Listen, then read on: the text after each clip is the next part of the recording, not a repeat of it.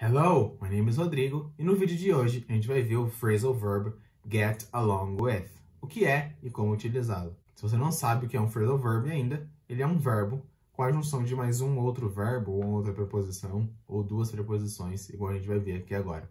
No primeiro vídeo da série, que é sobre o phrasal verb fill in, eu explico um pouco melhor o que é um phrasal verb.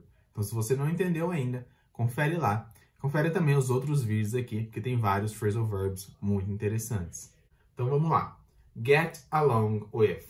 Se for traduzir cada uma das palavras, eles vão ter um significado completamente diferente, ok? Principalmente o get, que significa N outros verbos. Mas utilizado assim, get along with significa se dar bem, se dar bem com alguém. Por exemplo, do you get along with your mother-in-law? Você se dá bem com a sua sogra?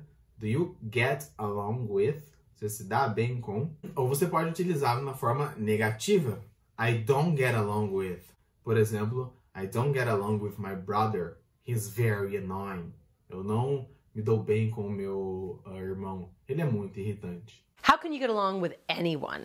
So, do you get along with all your relatives? Você se dá bem com todos os seus parentes? E só para lembrar, tão importante quanto aprender alguma coisa é pôr em prática. Por isso, sempre que tiver a oportunidade, ou até busque a oportunidade de usar as palavras, os verbos, tudo que você for aprendendo. No seu dia a dia, mesmo sem falar em voz alta, só pensando naquela situação ali, você fala, ah, eu poderia, poderia estar usando aquele verbo que eu aprendi uh, no vídeo. Então, tenta utilizar o máximo possível.